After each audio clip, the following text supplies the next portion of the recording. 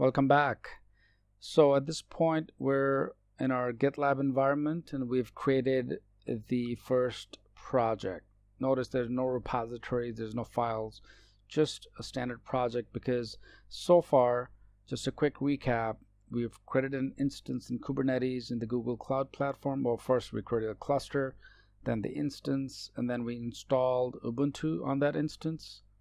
Within Ubuntu Linux, we installed the GitLab Enterprise Edition and then we integrated the two with an IP address. So now this IP address is pointing to our Kubernetes environment where we're now all set to in fact begin our GitLab environment. So I can create issues with the development code, I can do merge requests, and so on.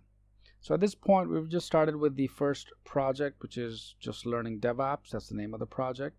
Before I actually divulge into the workflow, which is later in the lectures perhaps, let's take a look at some of the other configurations within the GitLab environment. So if I were to click on this particular project that exists, which is a blank project, because it says the repository for this project is empty at this point.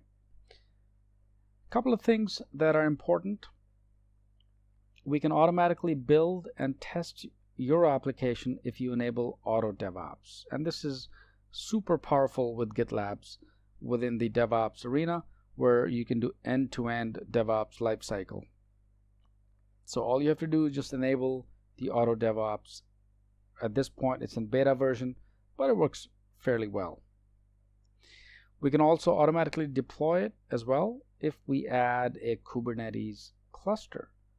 So here's another powerful thing. Within GitLab environment, we are able to, in fact, create Kubernetes cluster right from GitLab.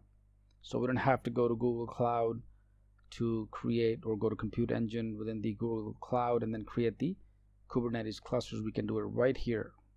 So that's a couple of powerful things that we can do. And notice we have two options here, right? We have enabled Auto DevOps and we have add Kubernetes cluster. So first, let's, before I actually click on any one of these, right, and demonstrate this, let me first show you the continuous integration and deployment. So within the CI CD, you'll have an option called Kubernetes, which is just awesome in GitLab. So I'm going to go ahead and click on Kubernetes. And just to give you a word, by the way, uh, just last month, uh, this is 2018, right, May. So in April, GitLab kind of disassociated itself with the Azure environment. So they're not uh, offering their product within Azure DevOps. They're strictly focusing more and more on the Google Cloud Platform. Okay, so that's just news I wanted to pass by, especially those of you who are in the DevOps area.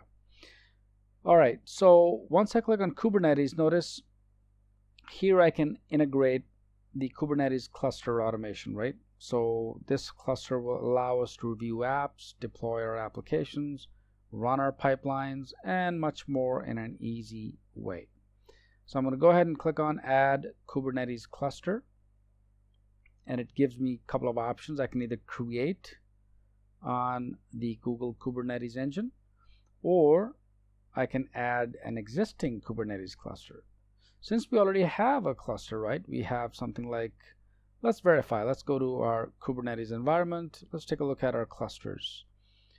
So I'm going to go scroll up, Kubernetes, and then we should have about a couple of them maybe. Yep, there we go. So we have ClayDesk 5 and ClayDesk 7. So there are two clusters that exist in Kubernetes. So I could either create, of course, a cluster within the Kubernetes environment, or I can navigate back to GitLab and create it from there. So one of the two. So let's navigate back to GitLab, and here we are. So I'm going to add an existing Kubernetes cluster for this particular project. Okay, so I'm going to click on the add an existing cluster, just give it a name, and I'm going to say ClayDesk 7 is the cluster name and I can re-verify by going back to Kubernetes so this is ClayDesk 7 and that's the one that I want to use so let's switch back to our GitLab. The environment scope is asterisk, which is by default is development, or you can use it for any, whether it's production, QA, unless you specify the name, that's fine. The API URL is the actual URL that we're using here. So I'm just going to copy this and paste it. If you have a certificate authority, you can use it. Token is also required. This is a service token. We can go to, let's say, Kubernetes configuration, right? And then find the service token. So if I were to navigate back to my Kubernetes engine, and let's say if I want to find the configuration I just want to show you so you can actually take a look at it and just navigate to configuration and then from there you can actually take a look at some of the secret keys and that particular path okay?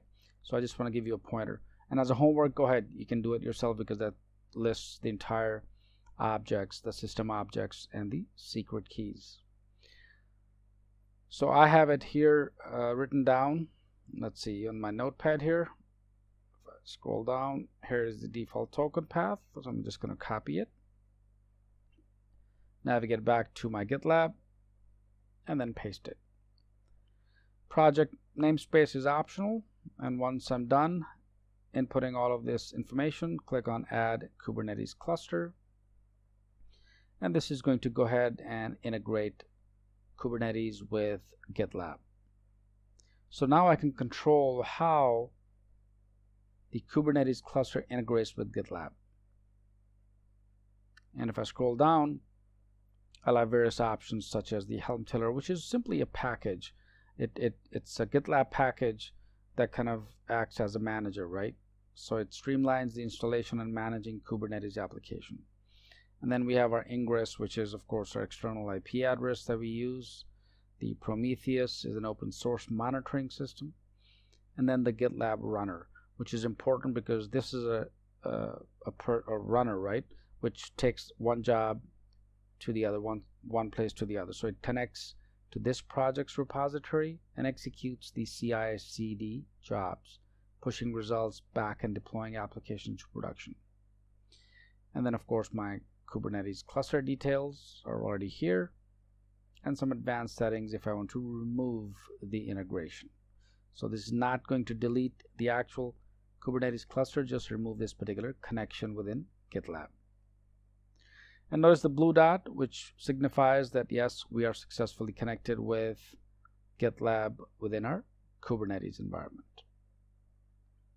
So right now, if I click on, let's say, CI CD pipelines, nothing exists because I've not started with any of the pipelines or the project itself.